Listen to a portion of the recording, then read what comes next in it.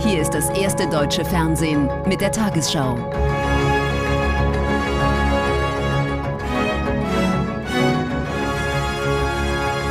Heute im Studio Konstantin Schreiber. Guten Abend, meine Damen und Herren. Ich begrüße Sie zur Tagesschau. Mit Blick auf eine drohende neue Corona-Welle haben heute vier weitere Bundesländer ihre Schutzmaßnahmen verschärft. Baden-Württemberg, Niedersachsen, Brandenburg und Mecklenburg-Vorpommern. Grund ist die hoch ansteckende Omikron-Variante, die sich auch hierzulande ausbreitet. Daher gelten nun strengere Kontaktbeschränkungen, besonders für ungeimpfte. Zudem gibt es teilweise auch neue Auflagen für die Gastronomie. Morgen ziehen andere Bundesländer nach. Die großen Tische bleiben leer in diesem Brauhaus in Stuttgart. Denn von heute an gilt in Baden-Württemberg, Gruppen in Innenräumen sind auf zehn Menschen begrenzt. Auch andere Bundesländer setzen spätestens morgen die gemeinsam beschlossenen verschärften Maßnahmen in Kraft. In geschlossenen Räumen dürfen sich privat maximal zehn geimpfte oder genesene Personen treffen. Für ungeimpfte gilt ein Haushalt plus zwei weitere Personen. Tanzveranstaltungen sind verboten, auch an Silvester. In einigen Bundesländern gilt zudem eine Sperrstunde für die Gastronomie. Das Wichtige ist jetzt, um die Welle zu verzögern, die Kontakte zu reduzieren. Insofern sind die verschärften Maßnahmen absolut richtig. Ob sie nicht vielleicht doch schon einen Ticken zu spät gekommen sind, äh, gut, ich hätte sie mir früher gewünscht, weil sich das Virus eben doch relativ schnell verdoppelt in seiner Zahl an Infektionen. Um die erwartete Omikron-Welle zumindest abzudämpfen, wurde vielerorts auch an den Feiertagen geimpft. In Berlin hatten gestern die Impfzentren geöffnet. Ob mit oder ohne Termin, das Angebot werde gut angenommen. Ungefähr 80 Prozent der Impfungen sind Boosterimpfungen, 10 Prozent Erst-, 10 Prozent Zweitimpfung. Das kann man so im Schnitt sagen. Ähm, also es zeigt sich auch, dass auch immer noch neue Impflinge kommen, die sich das erste Mal ähm, mit dem, äh, gegen das Coronavirus impfen lassen. Doch was, wenn die Impfquote dennoch nicht schnell genug steigt? Die SPD-Co-Vorsitzende spricht sich in diesem Fall für eine allgemeine Impfpflicht aus. Ich würde am liebsten auch alle Menschen davon überzeugen, dass äh, die Impfung der richtige Weg ist, äh, um sich selbst zu schützen, äh, die Nächsten, die Liebsten, aber eben auch die Gesellschaft. Ähm, wenn uns das bei allen nicht gelingt, dann muss eben eine Impfpflicht kommen. Auch weitere Kontaktbeschränkungen schließt Esken nicht aus. Bei einer unangemeldeten Demonstration von Gegnern der Corona-Maßnahmen ist es gestern Abend in Schweinfurt zu Auseinandersetzungen gekommen. Die Polizei nahm acht Personen fest. In Schnellverfahren wurden heute die ersten unter anderem wegen Widerstands und tätlichen Angriffs zu Bewährungsstrafen zwischen sechs und zwölf Monaten verurteilt. Bei der Demonstration war auch ein vierjähriges Kind leicht durch Pfefferspray verletzt worden. Seine Mutter hatte versucht, eine Absperrung zu durchbrechen.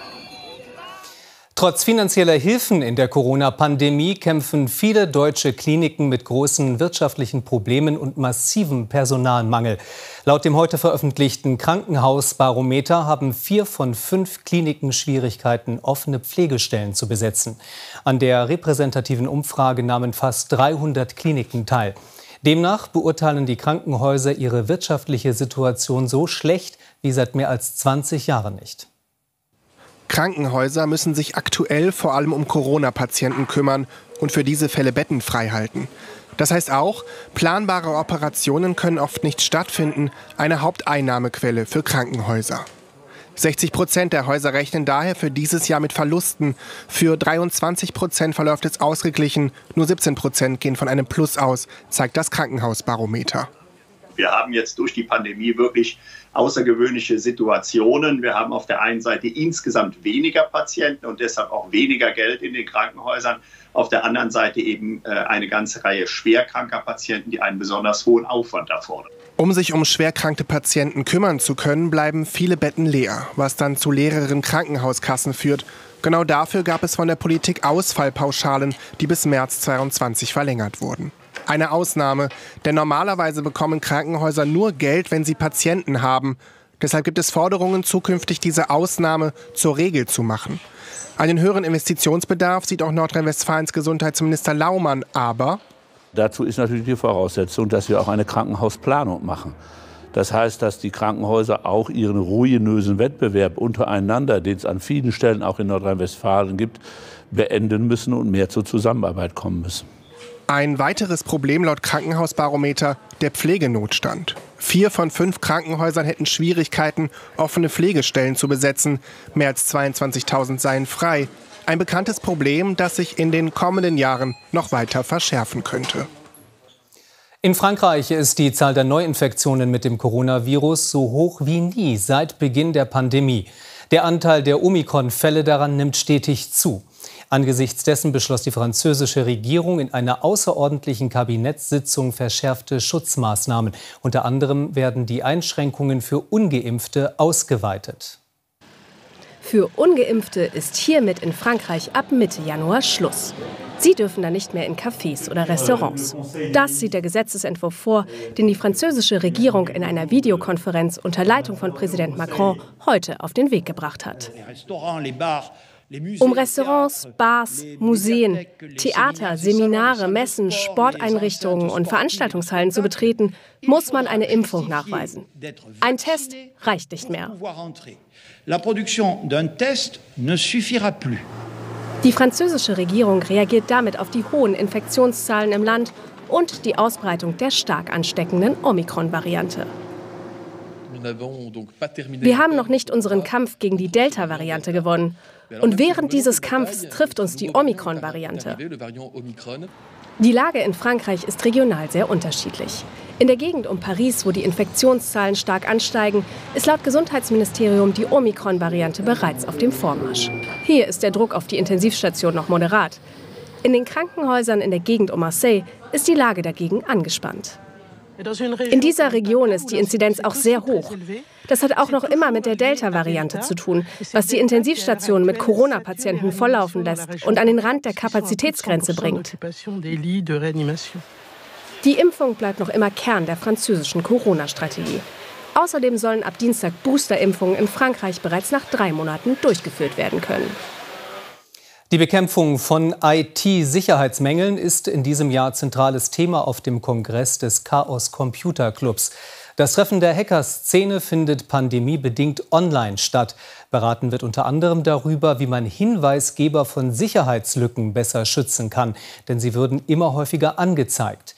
Der Club hat bereits mehrfach versuchsweise Computersysteme gehackt und auf Sicherheitsprobleme hingewiesen. Vom Hamburger Chaos Computer Club live in die ganze Welt.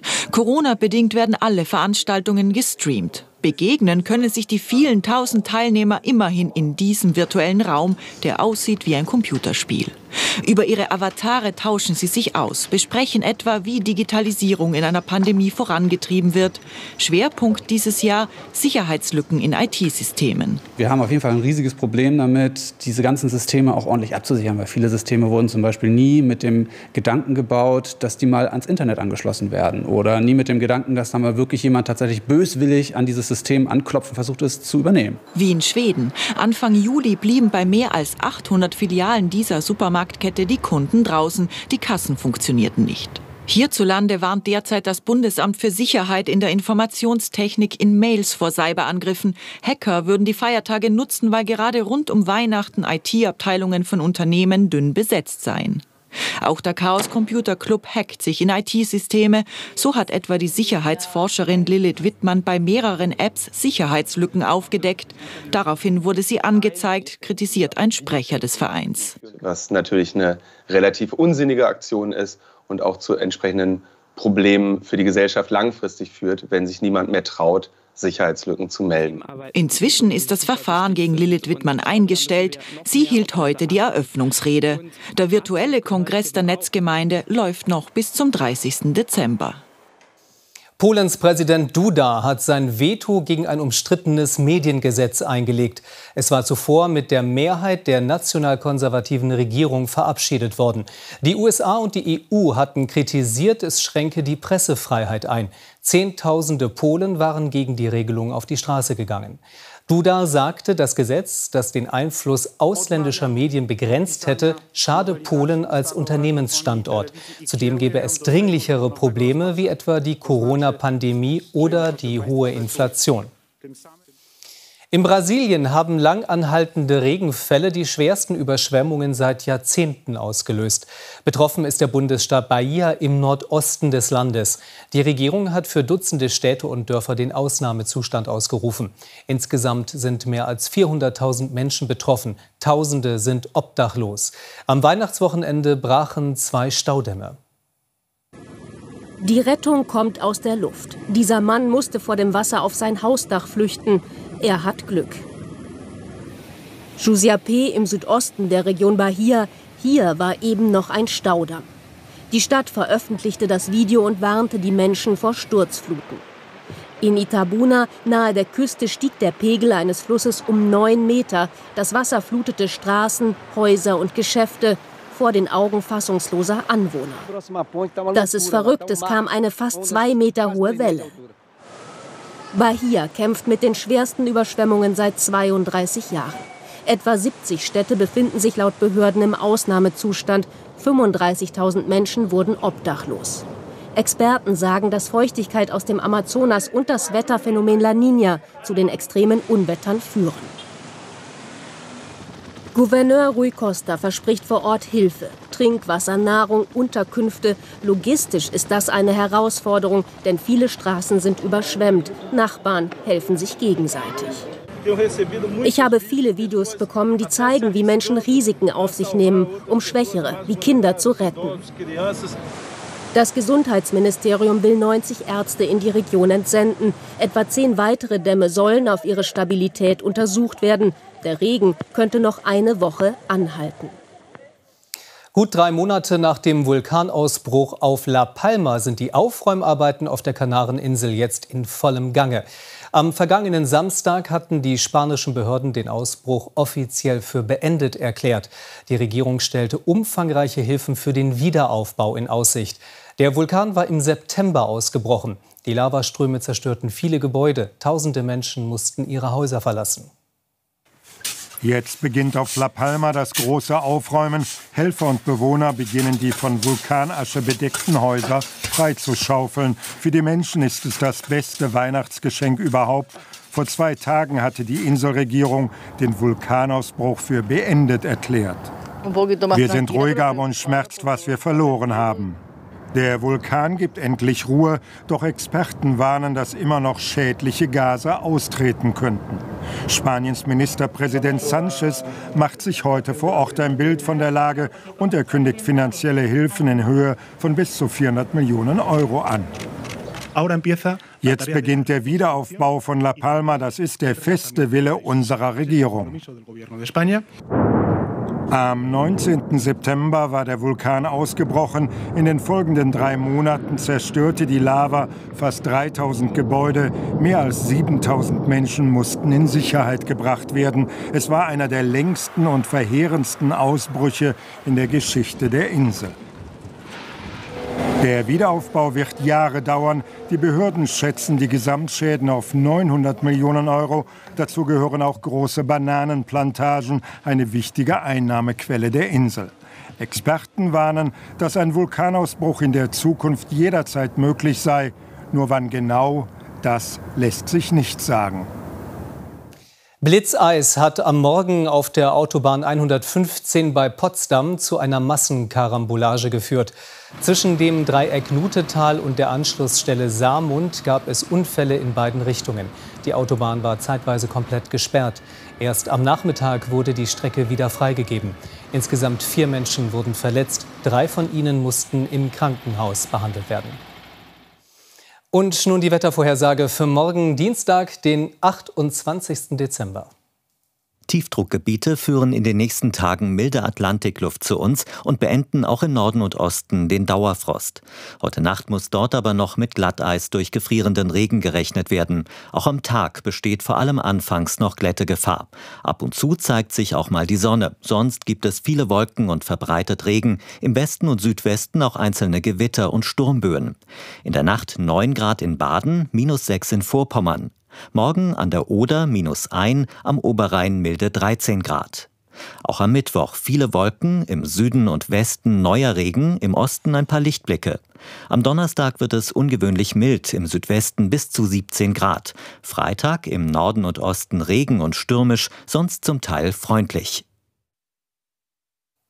Die Tagesschau meldet sich wieder gegen 1 Uhr. Ich wünsche Ihnen noch einen schönen Abend.